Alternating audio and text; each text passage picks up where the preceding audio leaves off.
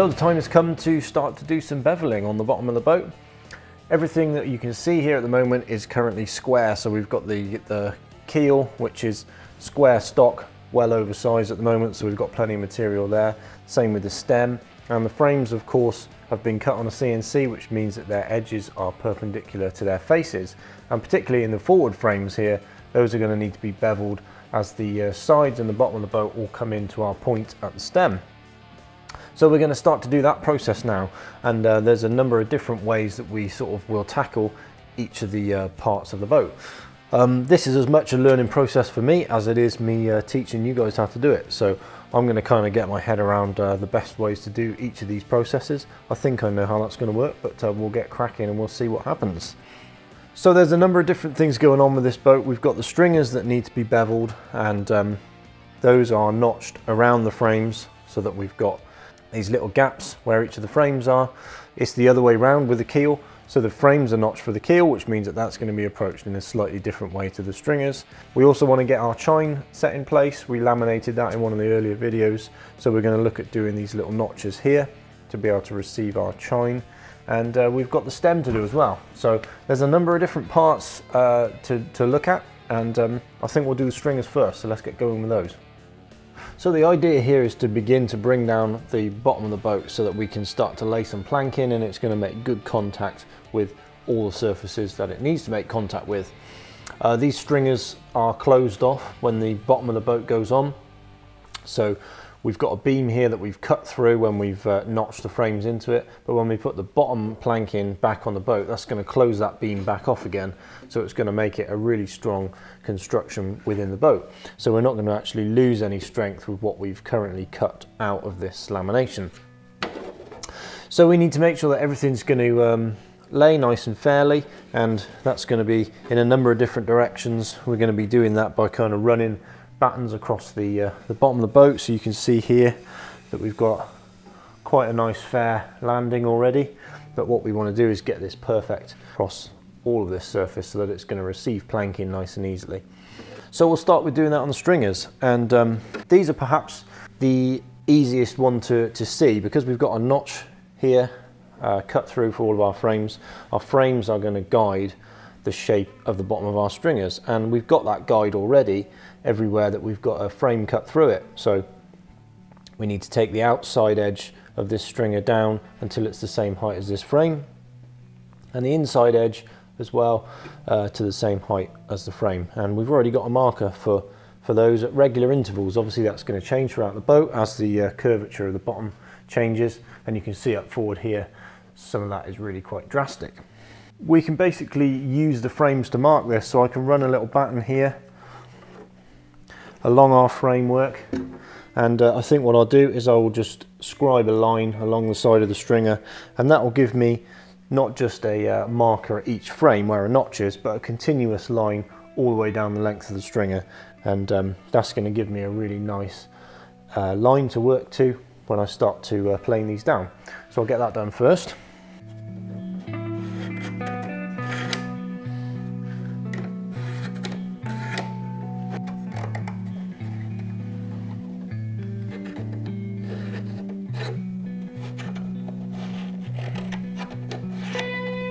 Okay, so that's an initial rough guidance line for where we want to be for our stringer. So we've got our little markers at each frame interval judged by the, uh, the height of the frame and then we've got a line that uh, joins those up so we've got some guidance throughout the middle of that section as well. Now at the moment we're just going to um, roughly bring down to that line because there are a number of different factors to consider with, uh, with shaping this um, we're not going to bring any one thing down to its exact finish point um, straight away in one go.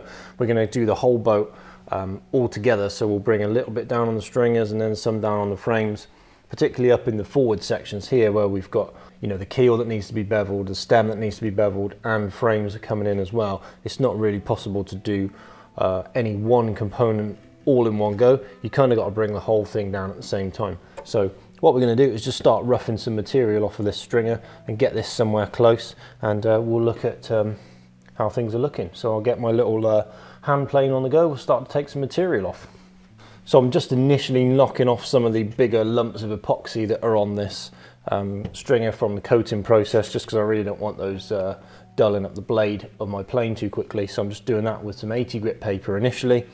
We'll roughly clean those up and then we'll get the plane out.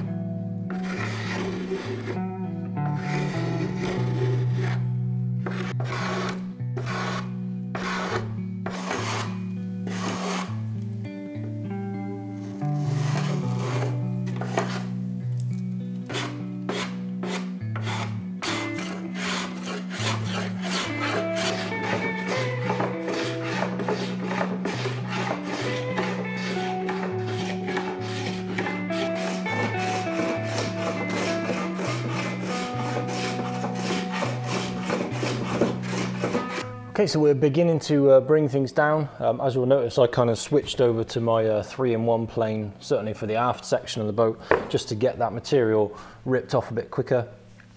Um, actually, this little plane, this little bench plane, is, is really good despite its miniature size. It really does uh, shift some material.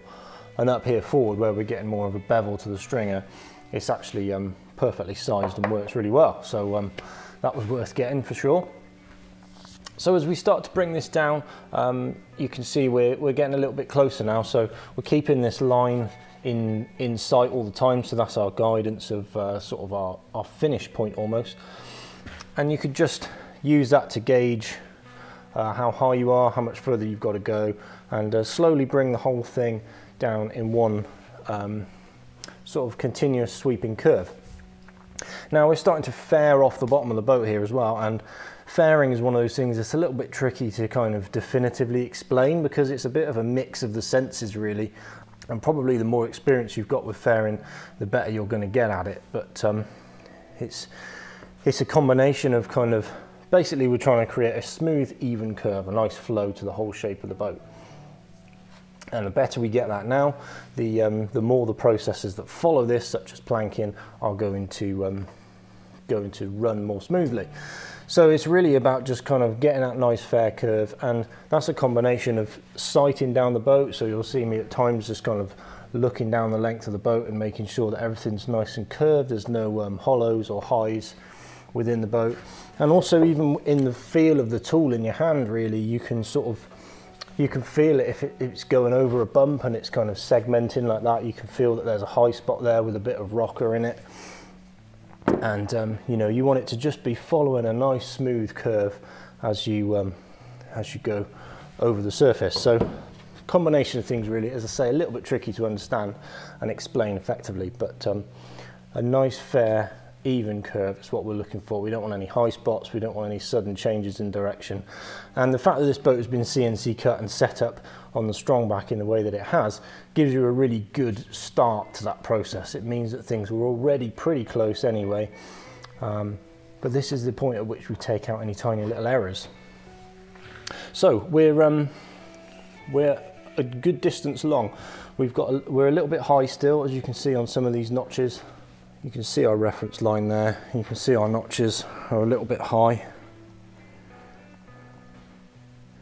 I suppose they're a little bit low really, but the stringers are, are slightly high still. You can see that marking line there.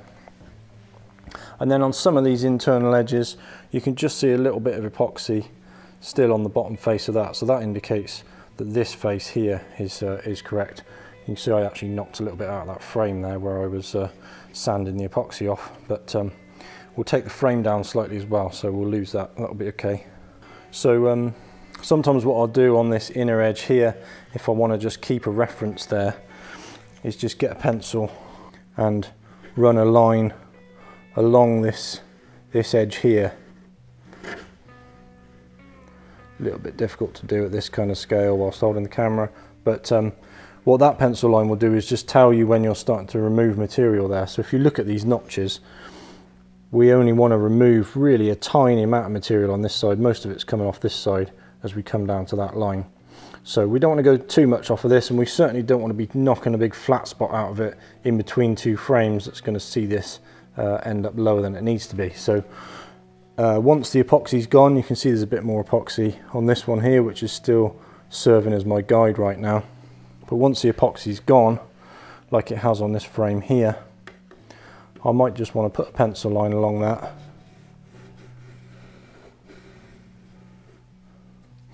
and then as I continue to work that down I've got a reference as to what's going on. And if I plane through that that's not a problem. Just draw the pencil line back in again but keep it there as a reference to um, to just give you guidance as to what you're doing. You don't want to just go too far and then realize that you've taken too much off and then you'll have to glue a bit more timber in here and uh, go back around the cycle again which you don't want to do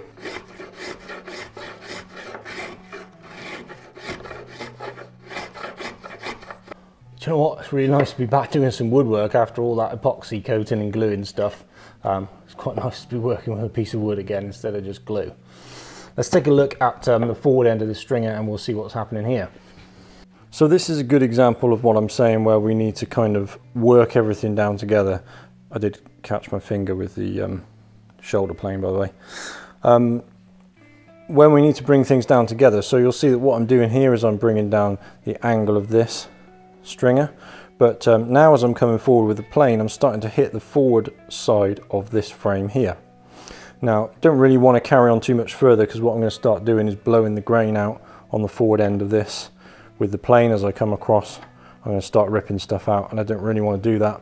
And that's the reason that we'll stay a little bit high as well. What I'll probably do is the final um, bringing down of all of these, we'll actually use like a, a big fairing block I'll probably go at kind of 45s and take the frames and the final bit of the stringers all down in one point altogether.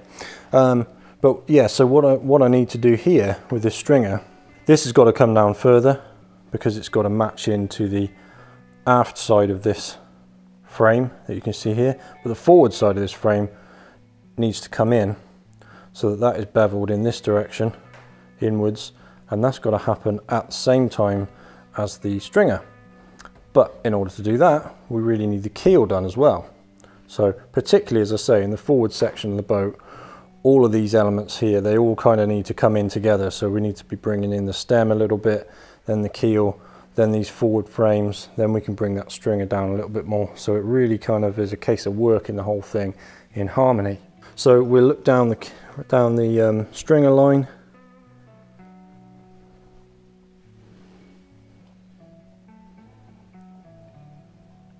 You can see we've got a pretty nice fair curve there, which is good. And um, we're around about right.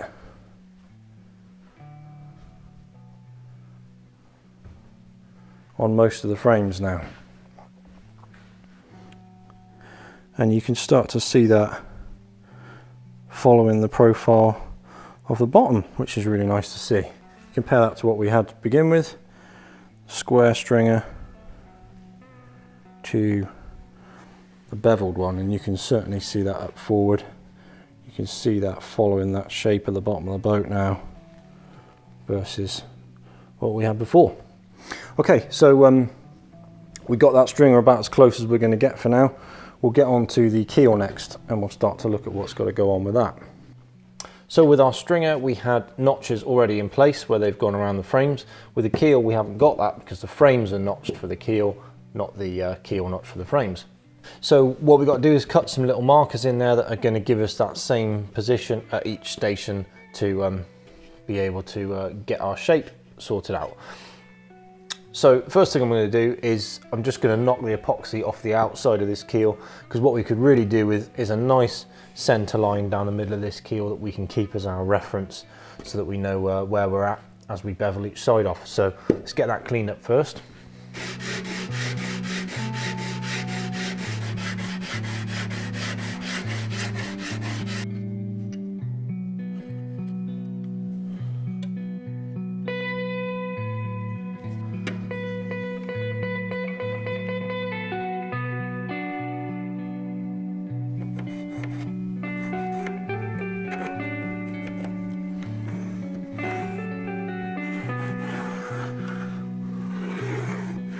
Okay, so what we need is markers on each of these frame stations uh, to give us the shape that the keel needs to, to follow. Um, there's a couple of ways that we can do that and um, I'm probably going to use a combination of both actually. So I can draw a line along the edge of the keel in the same way that we did with the stringer and we'll do that just by running a batten along it. But we can also cut notches into this keel and effectively project this line of the frame up and through the keel um, on both sides of the frame and that's going to give us our shape so that when we're actually planing down we've got a little guide in each of these stations to um, to show us what's going on. A little uh, sort of early warning stopping mark effectively. So a combination of the two will keep uh, the the line on the side of the keel in sight the same way that we did on the stringer. We want to keep the um, the center line here and that will probably involve us having to remark the center line at several stages because we're going to cut a lot of this away um, but we'll use a combination of all of those and we'll, we'll slowly bring it down. So I'm going to get a line drawn on the side of the keel next.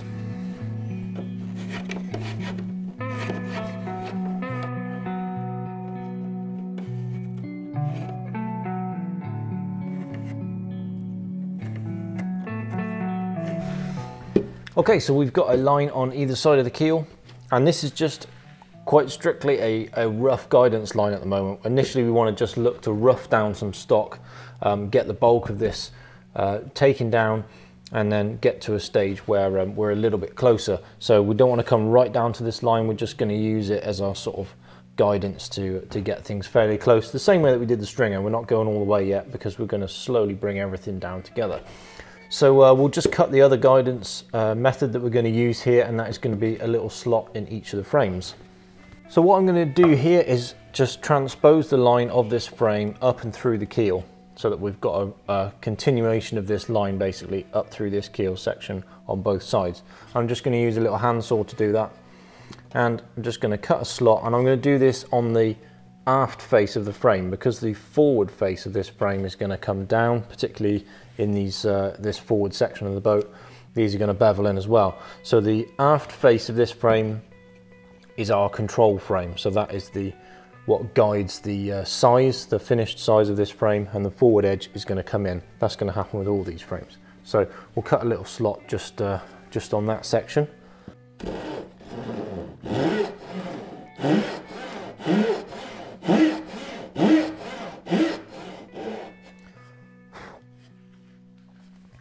Now the bottom of this boat is slightly convex. So there's this curvature to these frames and we want to just consider that with our slot. So you don't perhaps want to continue that straight on. You want to just account for the fact that this is curving ever so slightly.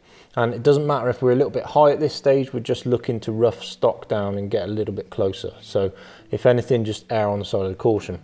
Now with some of our other boat designs, We've got concave bottom frames. Um, the slipper launch, for example, Marilyn, that's got a fair amount of concavity to the frames, certainly up forward. So the frames are doing this instead, and that's going to have a similar effect on your keel line. You're going to want to follow that up and through. So again, what I would do in that respect is to rough the, uh, the keel down so that you're a little bit closer. But when you get to that final shaping, you're going to want to follow that curvature up and through the keel. Now that's going to be a little bit more difficult to do and you're going to want something that is going to follow that curvature. So something like a flexible fairing board, quite a narrow one, same width as the frame perhaps, with a, uh, a coarse grit paper on it, like a 40 grit paper that's going to allow you to follow that shape on and curve it up. Or um, possibly a compass plane as well, which you can set to the curvature of the frame and then cut that, uh, that curvature on. Because this is a convex frame, it's not so bad because we can follow that with a saw and we can get a bit of a feel for the line of it. So I'll carry on cutting this out.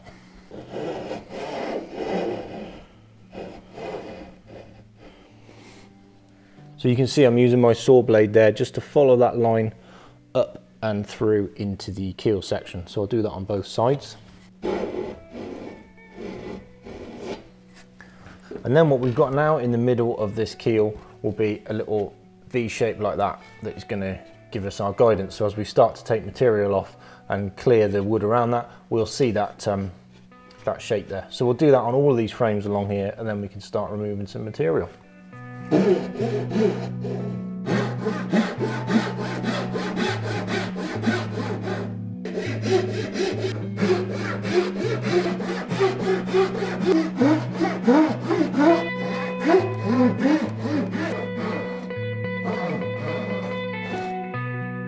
Okay, so we've got all of our marks in place now. We've got a, a V-shaped notch cut in with the saw at each frame station. We've got a side line on the edge of the keel and we've got a center line in the middle as well. So we can start to rough out some material now and um, get a little bit closer with that. So um, let's make a start on doing that. So as I'm working this bevel down, because I've got a line on the center and on the edge, I can sort of follow that with my bevel. So I want to sort of keep equal distance from each of those at the same time. And I know that as I start to build that bevel, I'm going to be following where I need to end up.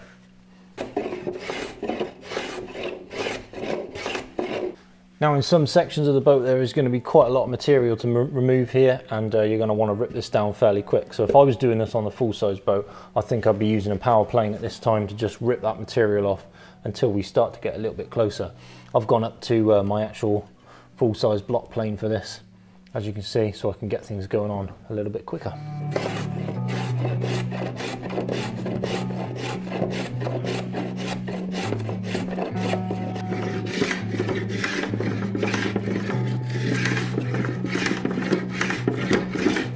So there's an initial bit of work done and you can see what we're starting to look at now. We've still got a fair way to come down on the sides of the keel here. And um, yeah quite a bit more work but you can see what's starting to happen. We've lost the center line that I marked out um, but that's actually okay because now that we're starting to get a bevel here you can really easily see visually just by the way that the light catches both sides of that keel as it starts to bevel. You see that? And you can use that to keep your center line um, just visually really just work down a little bit of each side um, so that things remain easily. And just a couple of passes with a block plane actually will, will you'll see that line just shift a little bit over to one side or another. Try and keep that balanced in the middle. Um, the good thing of having that line initially is that it helps you to start the plane off at the right angle. So as I was saying by maintaining an equal distance an equal balance between this line and the center line helps you get that plane at the correct angle. And then obviously that turns as you go forward on the boat. And um, once you've got that plane sort of started off on the correct angle it just kind of follows it really and you just keep removing material until you uh, until you get closer to the mark. But you can see that there's no real need to redraw that center line actually because it's really easy to keep it distinguished just with the way that the light bounces off of it. And our little guidance lines here as we get down even further we'll get to eventually the bottom of that little trench and that should give us a, a V that uh, resembles the, the frame shape as it carries on up. So carry on doing a bit more and we'll take a look at it.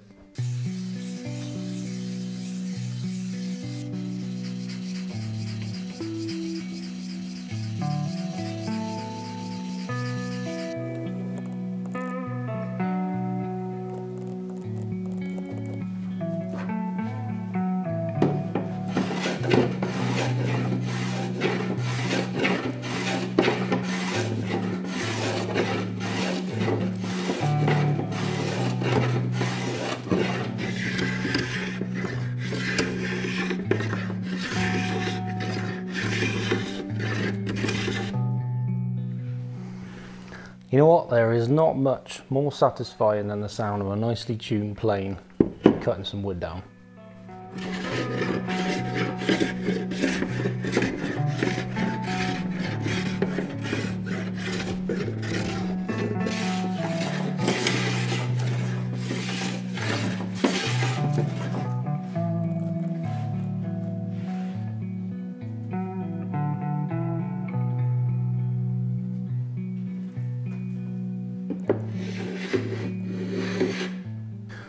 So that is where we're at now. You can see that the keel line is pretty straight. It's a little bit wandery, but um, I'm still working down either side, so I'm just taking a touch off each at a time. You can see I've done that stringer as well now. And it's really quite a satisfying uh, stage because you're starting to get to see the shape of the boat come out you know I can see this keel line forming now which is really nice and start to get a feel for the bottom of the boat as a whole which is really nice you can see that shape up forward there That V starting to come in those forward frames and a nice keel line established. So quite a satisfying process. So with regards to the status of our markers, you can see that this line on the side of the keel, there's still a little bit of that showing and in, in fairness that's probably a little bit too low because I've marked that from a batten so it's this side of the batten but um, so we probably always want to keep that there as our guidance but that's all it is really rough guidance. You can see the little slots that I cut in the frames they're still there. We've still got to come down a little bit. But actually in this frame here you see this example here that we've just broken through that on the center of the keel line and all together by looks of it on that side. So that's an indication that I've hit the depth that I set with this line. Certainly at the keel anyway, you can see there's still a little bit there that wants to come down and you can see that as well on the side so that wants to meet up with that frame but that's a bit of an indication that I need to be stopping on uh, the center line here where the keel is in that area you can see there's still more material to come off of those but um, as an initial kind of rough fair, that's um, that's getting pretty close. You can see the shape of our transom there projected on up through. Still some more material to come off on the transom. And also just bear in mind that our transom framing isn't 100% right at the moment because if you remember we did some laminations that are oversized. So we've got things like the sides you can see that these actually want to be sized to that inner lamination so the sides are oversized as well at the moment um, and much the same with the bottom so we're going to take all of that down and as we start to lay planking on this we'll kind of uh, see how all that's going to function. So as we're starting to get closer towards sort of shaping in the bottom of this boat we can start to do things like lay a potential plank out on the surface. Um, this is a little bit thicker than what a uh, plank that we're actually going to use is going to be, but we can just start to lay this and get a bit of a feel for what the bottom planking is going to do. So we're going to lay our initial layer of bottom planking at 45 degrees to the keel like this. And you can start to see how that's going to land at various different places along the boat. So you could get yourself a little piece of timber like this and just kind of run it through and then you can start to feel what's going on. You might think, okay, the string is a little bit high here. The keel is definitely still too high and we're, we're sort of lifting up forward there. But um, just starts to get you a bit of a feel for what's going to be going on when we start to lay planking.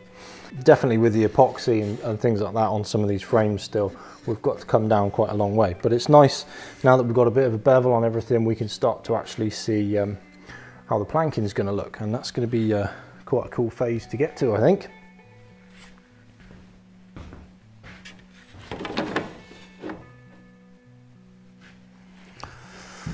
So the chines are going to be the next thing to go on and these are going to notch into our stem and as we start to kind of form the forward end of the boat there's going to be uh, various things that these are going to have an effect on. So we've got a bevel each of our frames as we've talked about to, to get the chines into where they need to be.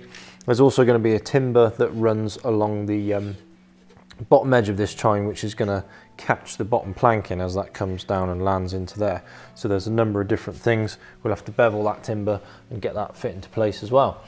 Um, so the next thing to really tackle is going to be the stem. So I think we'll actually do that in a dedicated video. We'll take a look at the stem in the next video and we'll cut the outer profile of it to its correct shape. We'll start to uh, mark out some bevels and um, we'll possibly start to land some topside battens which are going to affect the, uh, the top section of that uh, bevel. And then we're going to have the bottom planking, which is going to affect the bottom section of it. So um, there's going to be quite a bit of work to do there, sort of dialing in all that stuff. It gets a little bit more complex in the forward end of the boat, but um, pretty good progress anyway. It's nice to see the bottom of the boat starting to take a bit of shape to it. So um, we'll leave it at that for this video. Hope you've enjoyed it, and um, I'll catch you in the next one where we'll get working on the stem. Cheers, guys.